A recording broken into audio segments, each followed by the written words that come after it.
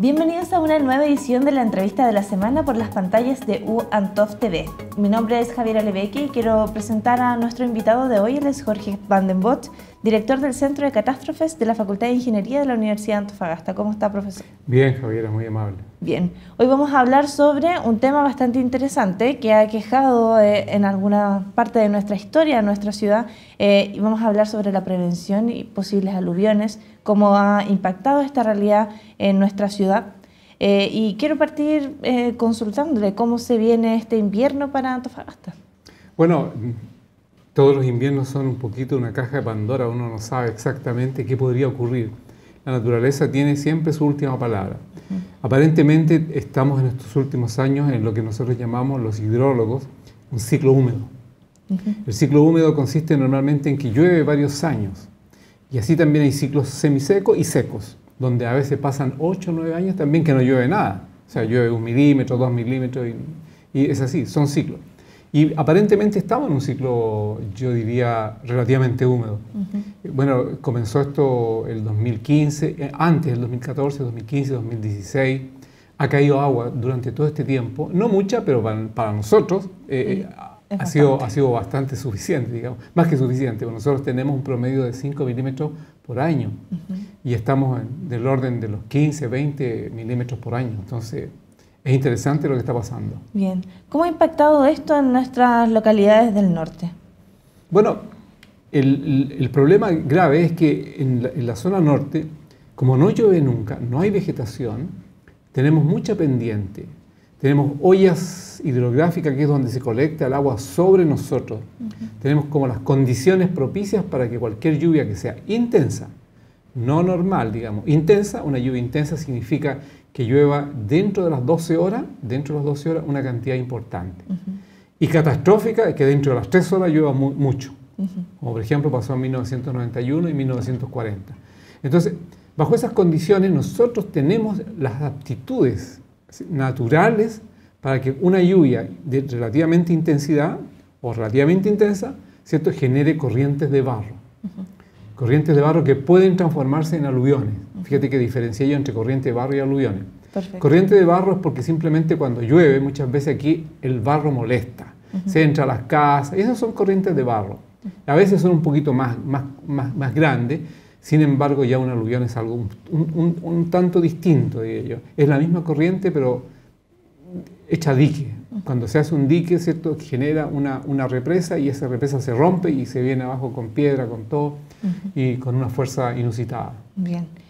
No es un secreto que nuestra ciudad ha ido cambiando. Hay nuevos asentamientos en las faldas del cerro y en nuestras quebradas, ¿cierto?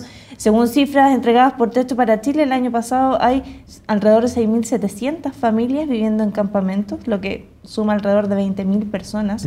Em, ¿Qué pasaría si nos enfrentáramos a una catástrofe de magnitudes como las de los años 40 o las del 91? Ok, lo que pasa es que aquí hay, 12, hay que diferenciar dos cosas. Lo primero es el asentamiento extraordinario que se ha producido en la falda de los cerros, tal como tú dijiste, que para nosotros se denomina conos de deyección. El cono de deyección es la patita del cerro que se va rellenando con sedimento. Entonces, esa patita del cerro generalmente tiene una pendiente, que es natural. Por, algo se va generando, cae, cae sedimento y se va generando hasta que queda una especie de rampa con una pendiente natural. El gran drama es que la gente que se ha instalado ahí ah, ha cortado el cerro, lo ha banqueado para poder tener pendiente, o sea, no pendiente, sino que un, terreno plano donde colocar y asentar su, su, habitación. Entonces han ido banqueando el cerro, lo han ido, le han ido quitando su pendiente natural. Modificando nuestro terreno, ¿cierto? Y modificando el terreno. Entonces, ¿cuál es el, el, problema que se viene en el futuro? Que si llueve intensamente, basta aunque se desmorone una, porque ya la pendiente se perdió, la pendiente natural que tenía el cerro, se desmorona uno y se van a venir en cadena hacia abajo es lo que se llama, ya no es un aluvión, eso se llama deslizamiento, que son mucho más peligrosos eventualmente que los aluviones, porque los aluviones son predecibles, uno sabe por dónde van a pasar. Pero un, un, deslizamiento puede ocurrir en un sector, en otro, y perfectamente no puede ocurrir en algunos, entonces es como aleatorio, o sea, puede pasar perfectamente en algún lugar y en otros no, pero son muy mortíferos porque no hay cómo luchar contra una una, una, especie de avalancha de piedras y de barro y de, lodo muy fuerte. Y lo otro es que, si uno mira bien, el asentamiento no ha sido las quebradas, Las quebradas son aluvionales, entonces como que ahí han respetado, algunas no, en algunas hay, intervención, pero no han respetado, no han respetado, diría, o sea, perdón, han respetado eso, lo que sí no han respetado es que se pusieron al lado, donde no pasa el aluvión, pero están ahora afectos a otros fenómenos, producto de que ellos tomaron terrenos que son extremadamente riesgosos, diría yo. Bien. El centro que usted dirige, ¿cierto? El centro de nuestra universidad, ha hecho varios estudios al respecto. Por supuesto. ¿Qué se han encontrado en este camino? Bueno, nosotros llevamos muchos años, muchos años trabajando en eso y nos hemos encontrado entonces que hemos logrado eh, desarrollar información por un lado, hemos desarrollado tecnología por otro, hemos desarrollado software por otro, que nos permiten calcular los aluviones, en primer lugar, que es lo más importante que tenemos en esta... los deslizamientos son como algo nuevo que estamos estudiando ahora, pero los aluviones son la cosa más complicada que que nos ha ido pasando en el tiempo y de eso nos hemos encargado y estamos trabajando muy duro hace muchos años en eso. Incluso ya tenemos algunos resultados interesantes, dos quebradas, que hoy día se los presentamos al intendente en la mañana y quedó muy gratamente sorprendido, al punto que nos pidió de inmediato los dos estudios que teníamos de las dos quebradas, una la negra y otra Jardines del Sur. Ahora, por razones obvias, porque la negra está al lado de nosotros, entonces podíamos, nuestra gente del Centro de, de Estudios Territoriales volaba y vuela, cuando vuela sobre la universidad toma inmediatamente todos los terrenos que están al lado y tomó para nosotros, para poder trabajar, tomó los terrenos de Escondida, donde está Escondida, y también Jardín del Sur. Así que por eso que pudimos trabajar, porque esos recursos están ahí en la universidad, al ladito, digamos. Y pudimos hacer Y quedó gratamente sorprendido porque se dio cuenta de la importancia que tiene simular los eventos, cómo van a ocurrir en, en la realidad. De tal manera que uno mira, en, ve, en un video lo que va a pasar. Y al ver lo que va a pasar, entonces los ingenieros, los técnicos, ¿cierto? los constructores, la gente que tiene que ver en planificación, puede ver exactamente lo que va a pasar y puede tomar medidas. Y ahí se dio cuenta el intendente si es muy fácil solucionar esto, decía. Pero claro, intendente, porque, está, porque le estoy mostrando lo que va a pasar. Entonces usted se da cuenta por qué va a pasar.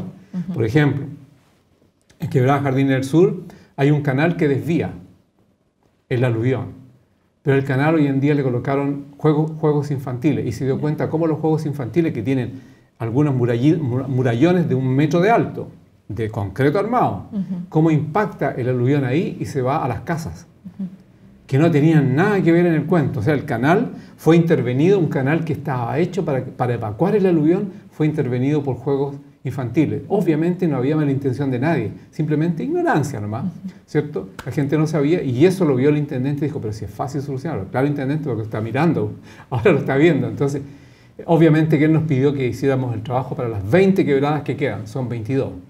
Así que tenemos una tarea grande con, el gobierno actual. Bien. A raíz de estas investigaciones, ¿qué, ¿cuáles son eh, las cosas que hay que implementar para prevenir? Bueno, es una buena pregunta, por cierto. Todo parte lo que he aprendido un poco de los militares cuando hemos tenido reuniones con ellos de, emergencia, ¿cierto? Ellos hablan de teatro operaciones. Teatro operaciones para unos militares es simplemente echar en el mapa, ¿cierto? Cómo van a jugar, hacen juegos de guerra, pero ¿dónde lo hacen? Arriba de un mapa.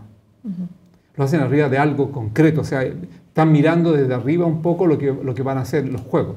Bueno, esto es, exactamente lo mismo. Cuando uno planifica la mitigación de desastres de este tipo, lo que necesita, lo primero que necesita, lo básico, es el plano de riesgo de inundación, que es el que nosotros le presentamos al intendente de una manera distinta, simulado, ¿cierto? Y visto de, en colores muy, muy vistosos, incluso con la altura del agua en cada parte, qué altura tiene el barro, en fin, cosas como esa. Eso es lo primero.